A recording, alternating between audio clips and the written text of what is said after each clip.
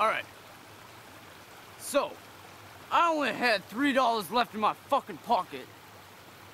And I realized, you know what? I'm a little fucking hungry. So, I noticed there's a McDonald's around the corner I was at. So I went over there. And I go up to the count, the line, you know, I'm waiting for about 15 minutes. I said, fuck this line. Finally get over the bitch, I said, bitch, I want two, number two, I want two junior bacon cheeseburgers with no fucking pickles.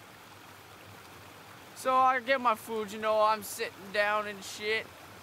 I go take a bite, notice, yo, what the fuck's that taste? Open my fucking patties.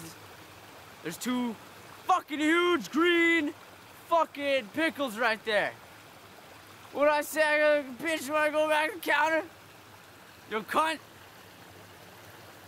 I asked for no fucking pickles! Start twitching and shit.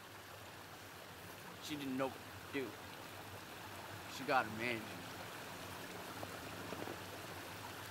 At that point, I threw the pickles at the bitch.